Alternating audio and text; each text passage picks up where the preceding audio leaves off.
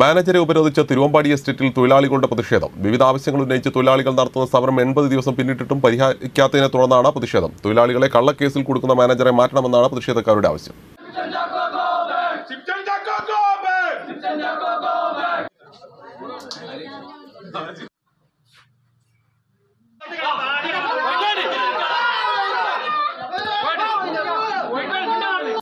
തിരുവമ്പാടി എസ്റ്റേറ്റിൽ നടന്നുവരുന്ന തൊഴിലാളി സമരം എൺപത് ദിവസം പിന്നിട്ടിട്ടും ഒത്തുതീർപ്പാവാതെ വന്നതോടെയാണ് യൂണിയൻ പ്രവർത്തകർ മാനേജറെ ഉപരോധിച്ചത്. ചൊവ്വാഴ്ച രാവിലെ ഒൻപത് മണിയോടെ തുടങ്ങിയ ഉപരോധം വൈകിട്ട് നാല് മണിവരെ നീണ്ടു. തിരുവമ്പാടി മുക്കം കോടഞ്ചേരി പോലീസ് സ്ഥലത്തെത്തിയാണ് മാനേജറെ രക്ഷപ്പെടുത്തിയത്. ഏത് ദൈവ കണ്ണൂർക്കോ പറഞ്ഞുണ്ടാ ഈ തൊഴിലാളികൾ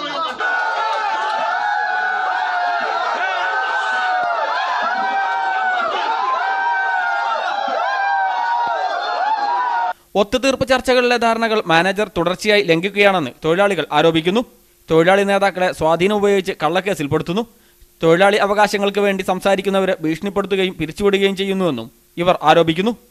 എൺപത്തൊന്ന് ദിവസമായിട്ട് തിരുവമ്പാടി എസ്റ്റേറ്റിൽ നിലവിലുള്ള സീനിയർ മാനേജറുടെ തൊഴിലാളി വിരുദ്ധ നയങ്ങൾക്കെതിരെയും അതേപോലെ തൊഴിലാളി നേതാക്കന്മാരെയും തൊഴിലാളികളെയും കള്ളക്കേസിൽ കുടുക്കി ബുദ്ധിമുട്ടിക്കുന്നതിന്റെയും അനന്തരഫലമായിട്ടാണ് ഇത്രയും ദിവസം തൊഴിലാളികൾ സമരത്തിൽ ഏർപ്പെട്ടിരിക്കുന്നത്.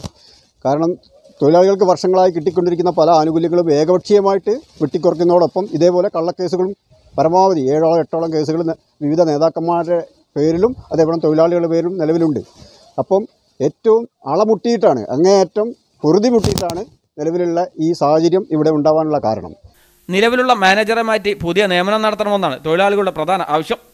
തിരുവമ്പാടി സ്റ്റേറ്റിൽ നാനൂറോളം തൊഴിലാളികളാണ് ജോലി ചെയ്യുന്നത്. മാനേജ്മെന്റ് സമീപനത്തിൽ മനമടുത്ത് നിരവധി പേർ ജോലി രാജിവെച്ചു പോയെന്നും തൊഴിലാളികൾ ആരോപിക്കുന്നു. സി പ്രാദേശിക വാർത്ത മുക്കം.